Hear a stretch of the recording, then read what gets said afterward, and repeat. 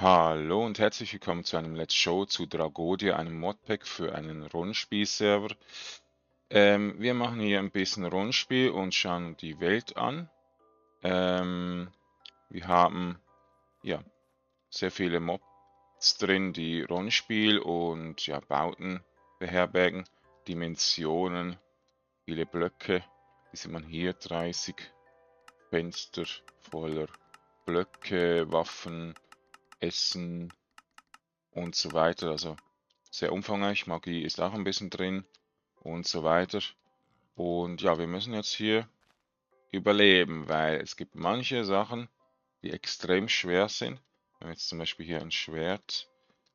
Jetzt haben wir da links noch einen, ein Fenster, okay. Wo wir ähm, ja, etwas drauf haben, zum Beispiel ähm, ja, Critical Hit, Lifesteal, okay und mehrere Bücher, einen Heilzauber, gut. Mache ich den mal auf die drei, äh, auf die sieben. Ja. Und ein Common Ore. Hm. Müssen außen ein bisschen kennenlernen. Hier sieht man schon die neuen Blöcke. Es gibt nicht, noch, nicht nur Stein und äh, Diorit, Granit und so Sachen, sondern recht viele Erze. Ähm, ja, Hauskräfte ist drin, damit wir mehr essen können. Und ja, ähm, Tinkers Construct, wie wir oben rech äh, unten rechts seht. Und eben so ein Level-Mod, der ist äh, meinen Slash. Und der macht zum Beispiel Eisenfire Drachen extrem stark. Also die muss man leider ausweichen. deshalb muss ich leider hier, äh, sehe hier unten der Balken nicht gut. Game Rule Mob Griefing Files machen und auch fertig wegen den Flammen.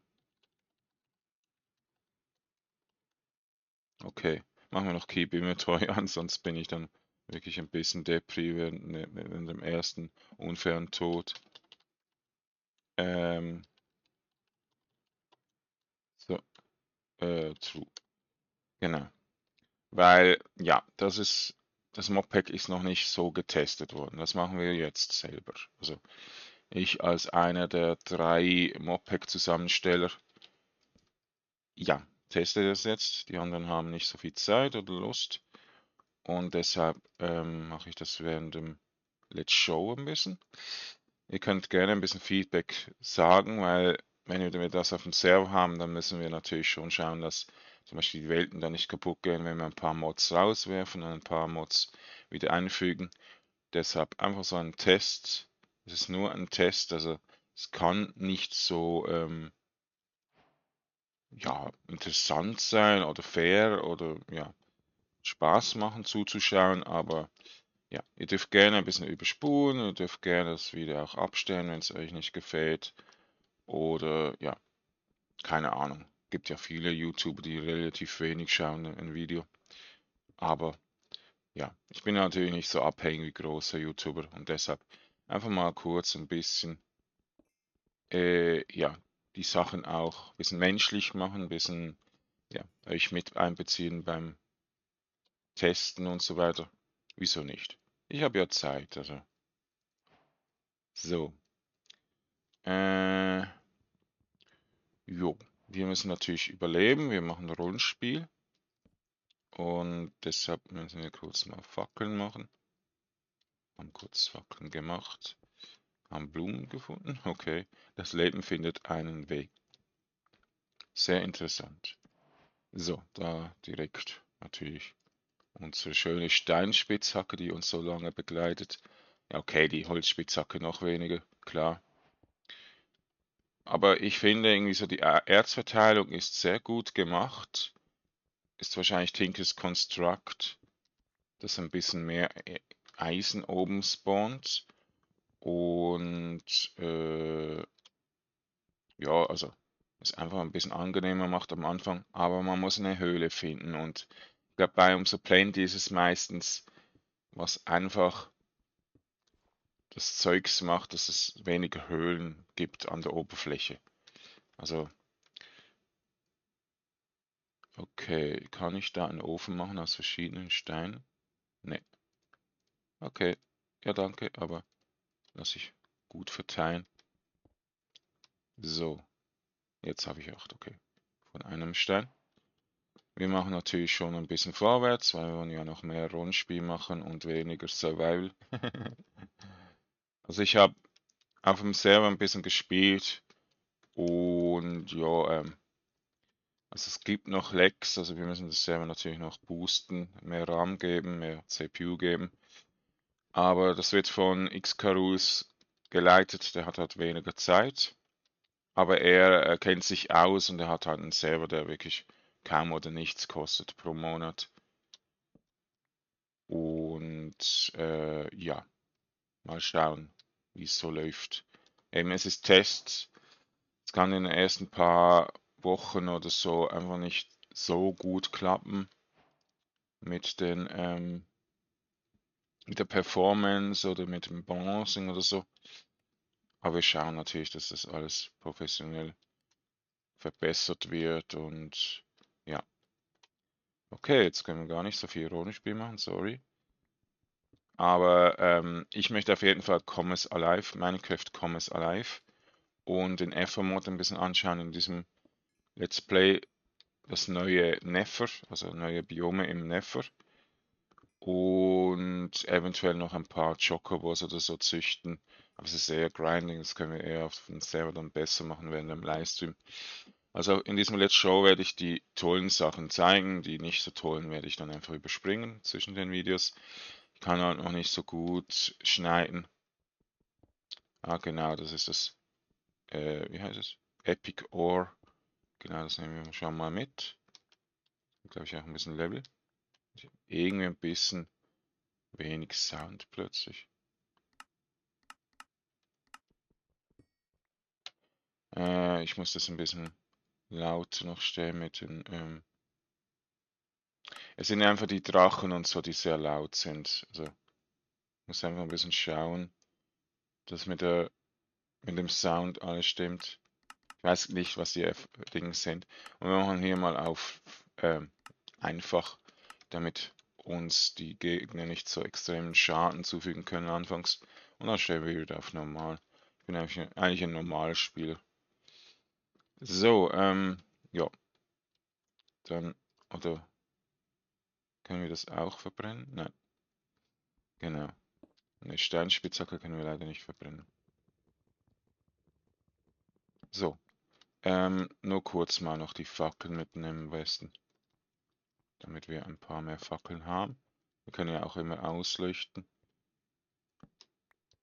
Die Kohle nehme ich jetzt mal nicht mit. So. Haben wir genug Kohle? Ja. Eigentlich mehr als genug. Und ja, es könnte vielleicht auch noch mal ein bisschen laggen. Man sieht es leider nicht, wie viel FPS ich habe, aber ungefähr so 70.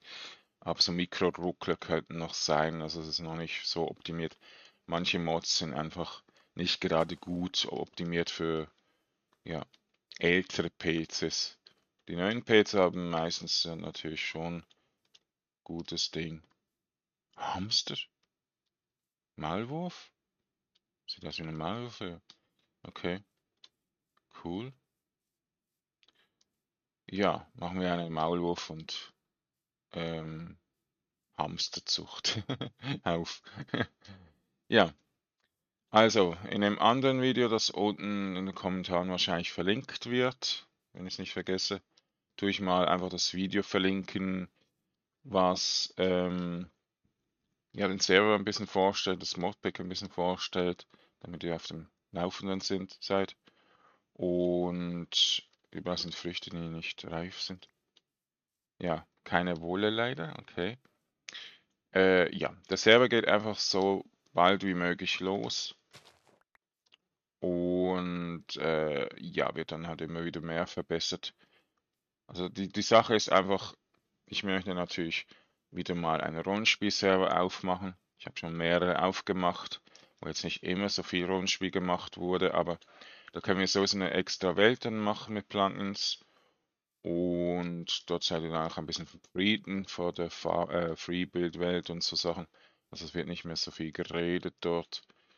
Und immer wenn ihr dann in der Welt seid, könnt ihr natürlich dort auch äh, ja, Rollenspiel.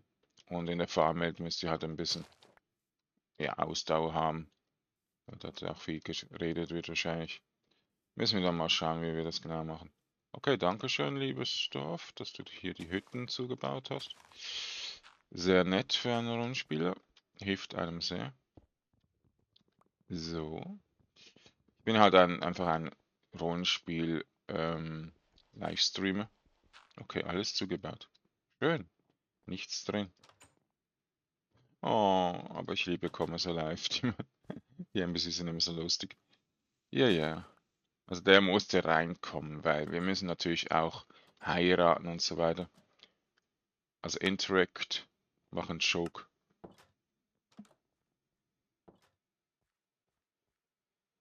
Okay, er hat es lustig gefunden scheinbar. Jetzt bin ich so sicher. So gut Englisch kann ich leider nicht. Aber ja, eben es ist lustig, hat er gesagt. Aber es ist lustig am Schluss. Oh, was ist mit den Typen? Was hast denn du für Augen? Hm. Na, Pilzle? Ihr habt gar keine Truhen. Und jetzt werden wir von Monstern angegriffen. Hm. Du musst irgendwie etwas Wolle finden oder so. Was ist denn das? Eine Sonnenblume. Äh, eine Sonnenblume. Okay. Hm. Okay, hier haben wir Kühe. Also der Mod Animania macht alles ein bisschen schwieriger, weil die Tiere jetzt nicht mehr überall spawnen, sondern eigentlich pro Biom eine Tierrasse ist. Vielleicht kann man sie auch zusammen züchten. Und dann kommt einfach ein zufälliges Tier oder ein, Misch, ein Mischtier raus, eine Mischzucht. Ja, eigentlich einfach eine normale Zucht. Aber ähm, ja, es ist halt schwer jetzt gerade direkt Ding zu finden. Ähm, Schafe, oder? Oder Ziegen. Ziegen gehen auch, die geben auch Wolle. Ja. Äh, ich will nur ins Haus. Geht das? Nehmen wir mal die Fackel noch. So, jetzt. Okay. Bücherregale könnten wir dann auch mal mitnehmen. Okay, sind zum Glück keine Monster in der Nähe. Ja. Also ganz, ganzes Dorf ohne irgendwelcher Loot. Okay. Naja beim ersten Mal. Okay, dachte schon ein, eine Ziege oder so. Okay, irgendwie, irgendwie fehlen die Monster. Da oben sind ein paar Zombies. Gut. Hier ist auch leider nichts. Ein Metzger. Okay. Leider auch nichts hier drin. Rosina. Cooler Name. Ich habe eine Rosine gefunden und habe sie geheiratet. Was ist denn das? Eine Sau? Eine Mega-Sau? Ne, eine Kuh, hä? Sieht aus wie eine Sau, aber ist eine Kuh. Oh, ein friesischer Bulle. Jetzt wird mir alles klar. Von hinten sehen halt die Teile immer gleich aus. Aber sieht mir irgendwie eine, also die Schweine sind ja manchmal so braun noch gefleckt. Cool. Au. Okay, da ist irgendwas generiert worden. Wir schauen mal auf die Map. Ja, also äh, ich möchte eigentlich nur Tag machen, aber es gibt kein einziges Bett im Dorf. Ich kann leider jetzt gerade nichts machen. Ähm, ja. Keine Ahnung. Aber schönes Survival für ein Rollenspiel. Wir haben Schwierigkeiten. Ja, im Dorf möchte ich schon bleiben, aber ich möchte natürlich nicht in der Nacht irgendwie... Haben wir noch genug Holz? Dann können wir uns runtergraben jetzt. Graben wir uns einfach hier durch den Berg runter. Und dann haben wir schon etwas erreicht. Was sonst ja nicht ginge. okay, Sand ist auch ein bisschen versteckt. Und das ist Gabros-Sand. Also es gibt auch unterschiedliche Sand. Das ist mega geil. Also, ja, eben. Die Motivation von den Mobs es ist nicht immer so extremst. Aber durch das Rollenspiel, das wir dann auf dem Server und so machen, müsst ihr natürlich auch nicht so mega schnell vorwärts kommen, das Spiel durchspielen und so weiter, sondern ihr macht das langsam und genüsslich und äh, habt dann viel länger und, und mehr Spaß und könnt es eben länger spielen, das Spiel. Und das ist das Wichtigste, oder? Damit wir ähm, ja auch einen Server haben, wo Langzeitmotivation bieten.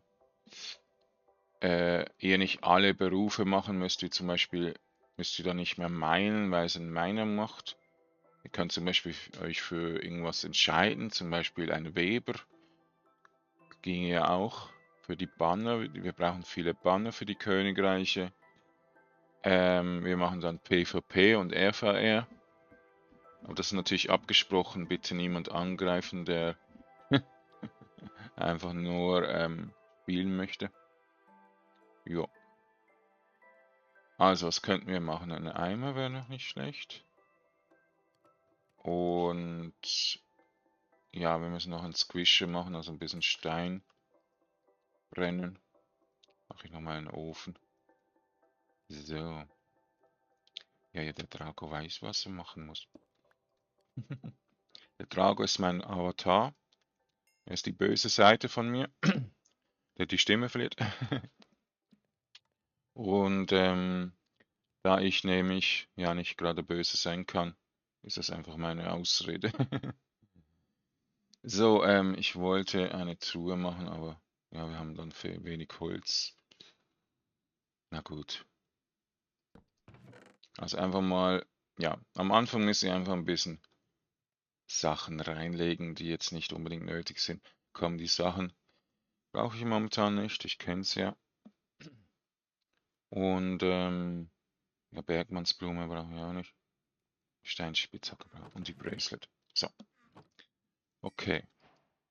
Also bis jetzt ist das Spiel sehr ausbalanciert. Aber sobald ihr anfängt, irgendwelche Endermänner oder Drachen anzugreifen, dann wird es ein bisschen schwer. Also Ihr könnt jetzt nicht einfach zum Ender Dragon gehen und dann ihn besiegen, weil es eine Art Rollenspielsystem mit diesem meinen Slash Mod gibt, der halt noch ein bisschen unbalanciert ist. Ich weiß jetzt nicht genau, wie ähm, weit der Mod ist. Ich kenne ihn halt auch kaum. Aber ähm, es gibt manche Dinge, die extremst OP sind oder OP werden von anderen Mods. Also ein Drachen, der hat schon mal 1200 Leben. Ich weiß jetzt nicht, wie viele Herzcontainer das sind, durch 10 ungefähr. Ähm, ja, 72, ja. 120 also. Ja. Ist natürlich schon ein bisschen knackig, also da muss man wahrscheinlich raten dann. Geht ja nicht anders, oder?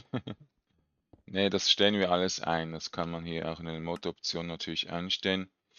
Ähm, wir gehen mal auf äh, wo ist es? Da. Config. Ähm, ja, Clients.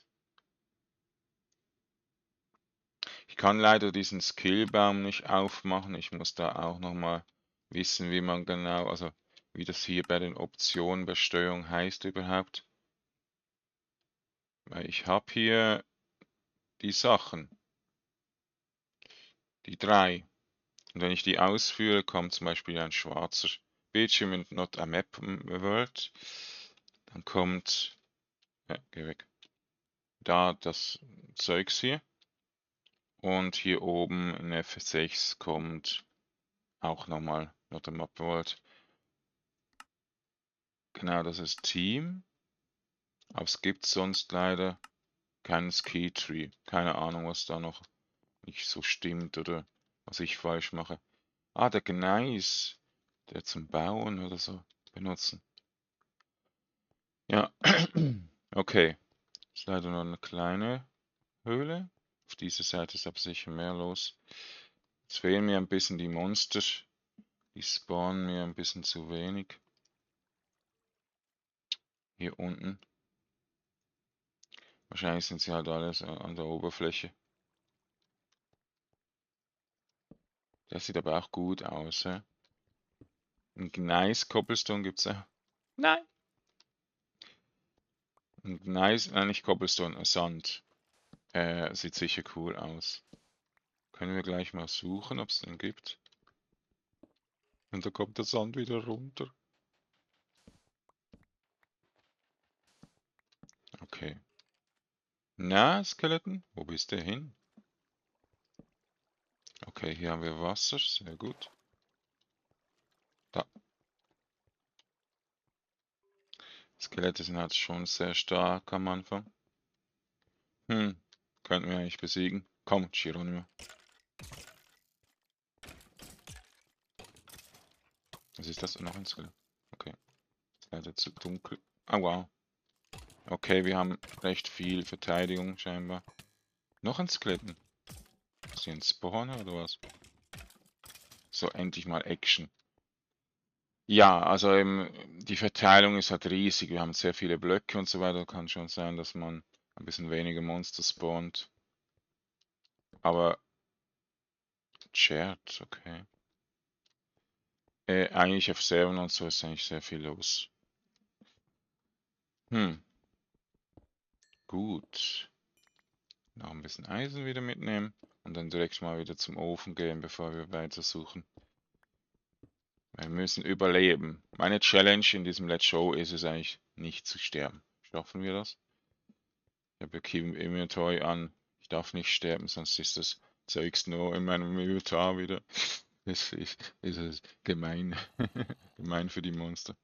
Deshalb darf ich nicht sterben. Beste Ausrede ever. Okay. Ähm, die Zombies mal nicht angreifen, sonst kommen noch mehr Zombies. Wir gehen wieder nach oben. Machen hier mal zu. Ja, ist leider Sand.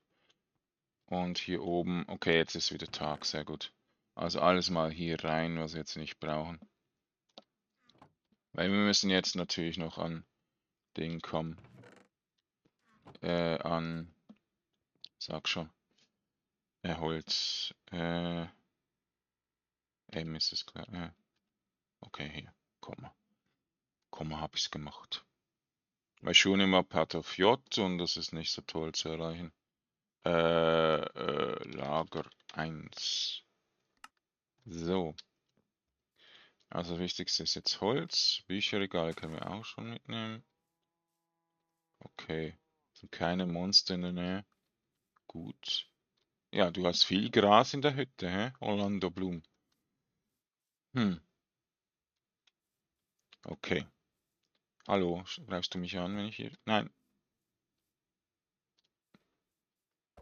Hallo, ich will nur... Nein! Er tötet mich!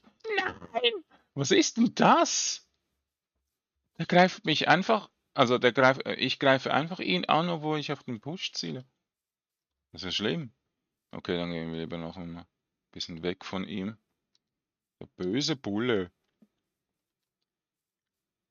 Hilf mir doch, Metzger, bitte. Wo, wo ist deine äh, Druckpistole? Du musst mir mit dem Schwert helfen? Ach komm schon. Okay, wir haben ein bisschen Holz hier. ich bin zu faul, da drüber zu gehen. Tut mir leid, liebe Dorfbewohner, aber ihr werdet von Spielen zerstört. Ja. Das war ein schönes Dorf, aber eben, ihr habt es nicht verdient. Ihr habt keine Betten, kein Loot. Da, da müssen Spiele einfach gemein sein. Kürbis, okay. Ja, Kürbis möchte ich schon mitnehmen, aber ich denke, man findet schon genug. Ich will lieber jetzt mal ein bisschen Wolle finden. Äh, ja, ich schau mal noch kurz auf die Zeit. 24 Minuten. Okay, wenn wir Wolle haben, machen wir mal kurz Pause. Ja, wir haben Wolle. Ah, da ist noch ein Zombie, der nicht verbrennt. Okay. Zombie, was ist mit dir los? Du bist Ankömmner. Du verbrennst nicht, weil du, äh, ja, nicht mehr so selten bist, hä? Also Ankömmner ist wahrscheinlich irgendwie magisch bei Diablo. Sorry. Wie die zuschauen. Wie die zuschauen. Ja. Muss ich dich heilen? Okay, da oben ist es. Oder nein, das war ja gar kein kleines. Ich weiß nicht, wo das kleine hin ist. Okay, es geht. Wir haben äh, weiße Wolle bekommen. Okay. Manchmal bekommt man so ganz verschiedene Wolle. Drei weiße Wolle. Nein, drei weiße Tauben. Sind nicht mehr. Tschüss. Äh, das war das Lied von EAV. Schön Werbung machen. Gut. Okay, dachte schon, das wäre 3D. Ich brauche ein 3D Texture Pack. okay, weißer Schlafsack, das ist das, was wir brauchen. Sodele, jetzt machen wir das noch auf hier. Molten Skeever. Blinding. Very weakening. Das macht sehr schwach die Gegner oder was? Oder wie? Aber das ist nur so ein Angriff. Okay, es ist nämlich so ein Combat-Mod drin, der eben diese Schwinge macht. Aber es ist natürlich nicht so toll äh, mit anderen Mods zusammen, die so ja das eigentlich aushebeln, oder? Also der Mod, der von dem das Schwert ist, steht leider nicht. Ähm, der macht, dass das Kampfsystem nicht funktioniert von äh, Bit Combat oder so. Weiß jetzt nicht, wie der Mod heißt. Combat. Bette Combat Rebirth. Rebirth. Rebirth. Oh, coole Stute oder Hengst. Wir gucken mal kurz, was das ist. Also das Pferd muss ich zähmen. Ja, das ist eine Stute. Genau, richtig gesehen. Ich bin Profi im Erkennen. Ich habe einfach Stute gesagt, weil es besser tönt. Als Hengst. Ja, es ist ein bisschen leichter zu sagen. So, wir haben hier oben links das grüne ist unsere Hungeranzeige. Ist nicht mehr, sind keine Köln mehr. Köln sind alt. Okay. Äh, kommen Charm. Was ist denn ein Charm? Kann man den essen? Ein Charme ist natürlich so ein Zauber auf Deutsch, oder, ja. Kann man den irgendwie equippen. Das ist, glaube ich, eine Nebenhand. Ah, ist eine Medaille? Ah ja, Bubble Talisman, okay. Bubble. Bubble.com. Hi. Ich, der eigentlich keine Werbung machen will, muss natürlich Werbung machen, zweimal wieder. Eieiei. Okay, also Geisterhöhle hier. Aber das machen wir dann im nächsten Part. Dankeschön fürs Zusehen. Ich hoffe, es kommt noch ein Part heute oder morgen dann. Äh, weil ich natürlich auch sehr viel zu tun habe. Und dann noch am Abend meistens live streame. Weil ich habe jetzt ungefähr einen Monat lang jeden Tag ungefähr 6, 7 Stunden mindestens gelivestreamt. Manchmal bis zu 12 Stunden, 13 Stunden. Und es war ein bisschen too much für meine Psyche, also für, für den Stress. Und deshalb, ja, mache ich einfach ein bisschen weniger am Abend und konzentriere mich halt eher ein bisschen auf Minecraft, weil das wirklich mein Lieblingsspiel ist. Und auf Roblox. Mal schauen, wenn ich den neuen PC habe, mal noch andere Spiele zeigen. Immer in die Kommentare oder beim Livestream live schreiben, was ihr denn wollt. Und ja, ich bedanke mich fürs Zusehen. Eben die Qualität steigert sich noch von Video zu Video. Also wenn ich den neuen PC habe, seht ihr dann 4K Videos und so. Bald mal 8K Videos vielleicht. ja, also die Qualität alles steigt. Als nächstes nach dem PC kommt das Mikrofon dran und dann habe ich auch gute Stimmqualität. So, dann sind wir 29 Minuten beschäftigt gewesen. Danke fürs Schauen und bis zum nächsten Video vielleicht. Und das ja anschauen. Tschüss.